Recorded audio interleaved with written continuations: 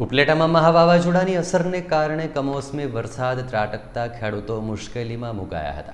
રાજકોટ જિલ્લાના ઉપલેટા તાલુકાના સેવંત્રા ગામે કમોસમી વરસાદ ખાબકતા કપાસનો પાક બળી જવા પામ્યો છે. વરસાદ પડતા ખેડૂતોના ઊભા પાકને ભારે નુકસાન થયું છે.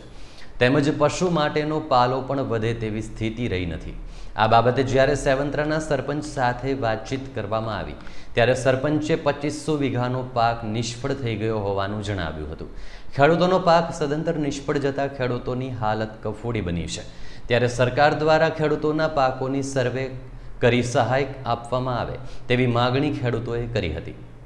અમારા ગામની અંદર જો આ કપાસ ફૂંકાઈ ગયા, જે પાણી ભરાણું ત્યાં સરકારશ્રીનો એવો આદેશ હતો કે ખેતરોમાં પાણી ભરાણા હોય, તો એ કપાસ ફેલ થયો હોય તો એનો તાત્કાલ સર્વે કરો. સર્વે કરી ગયા એની કઈ, કોઈ જાતનો જવાબ નથી કમોસમી વરસાદની અંદરથી એમ કીધું કે આ ફસલ યોજનાનું તમે સર્વે કરો, મગફળી કપાસ.